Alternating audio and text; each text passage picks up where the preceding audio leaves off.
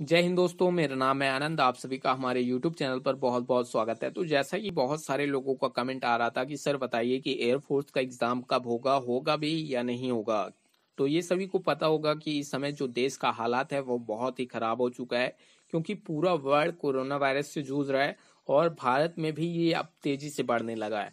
पहले क्या था कि धीरे धीरे कोरोना वायरस भारत में अटैक कर रहा था। अब इसके मामले जो कल से हैं, वो बहुत तेज़ी से बढ़ रहा है। फ़ेज़ फ़ेज़ थ्री में पहुँच चुका है। तो देखिए, आप सभी को पता होगा कि इक्कीस दिन का लॉकडाउन लगाया गया है और ये चौदह अप्रैल को लॉकडाउन खत्म होगा। और ये भी कहा जा रहा है कि इसका जो डेट है और बढ़ाया जा सकता है। इसको थ्री मंथ और बढ़ाया जा सकता है। तो ये सारी चीज़ें आप सभी को पता होगी और पूरे भारत का जो है अर्थव्यवस्था, किसी भी चीज़ की बात करें तो वो सारा सिस्टम खराब हो चुका है।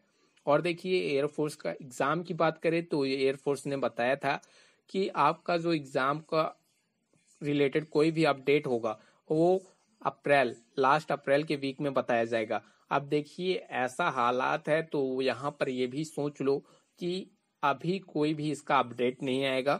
अगर इसके मामले थमते हैं और इसका रोकथाम कर लिया गया तो उसके पंद्रह दिन के बाद ही आपका एयरफोर्स से रिलेटेड कोई अपडेट आएगा। और ये मानकर चलो, अगर 21 दिन में इसका रोकथाम किया गया तो आपका पंद्रह मई तक, पंद्रह मई तक आपका एयरफोर्स से रिलेटेड कोई अपडेट आएगा, फिर आपका एडमिट कार्ड लगेगा दस बारह दिन में आने में।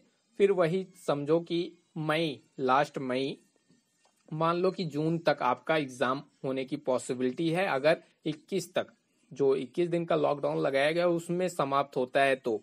नहीं अदरवाइज़ अगर थ्री मंथ का लॉकडाउन लगता है तो आप समझ सकते हो थ्री मंथ फिर उसके बाद कहीं जाके इसका एयरफोर्स का एग्ज़ाम होगा। जैसा कि आप सभी को पता होगा, सभी एग्ज़ाम कैंसिल कर कर दिए गए हैं। यूपी बोर्ड के हो, चाहे पंजाब बोर्ड के हो, चाहे जो एग्ज़ाम हो। अभी अभी हाल ही में नीट का भी एग्ज़ाम कैंसिल कर दिया गया है।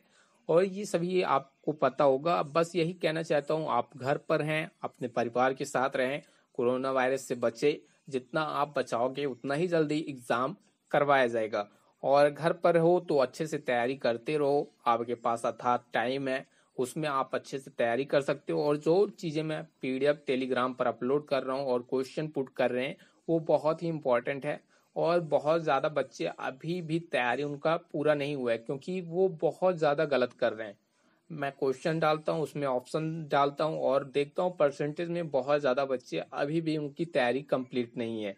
तो जितने भी मैं जीके के क्वेश्चन करा रहा हूँ या जो भी वीडियो डाल रहा हूँ तो उसको अच्छे से तैयार कर लो, अच्छे से तैयार किए रहोगे, तब भी सिलेक्शन होने वाला है। अदरवाइज़ आप सिर्फ़ टाइम वेस्ट कर रहे हैं, क्योंकि इस समय क्या कर रहे हैं, बच्चे इस समय अच्छे से अपना प्रिपरेशन कर रहे हैं, जिनका जिस चीज़, जो सब्जेक्ट वीक है, उसको अच्छे से प्रिपरेट कर लो प्रैक्टिस सेट करते रहो, और जो भी अपडेट होगा, वो यहाँ पर आपको अपडेट दिया जाएगा। चैनल को सब्सक्राइब कर सकते हो, और टेलीग्राम का लिंक डिस्क्रिप्शन में है।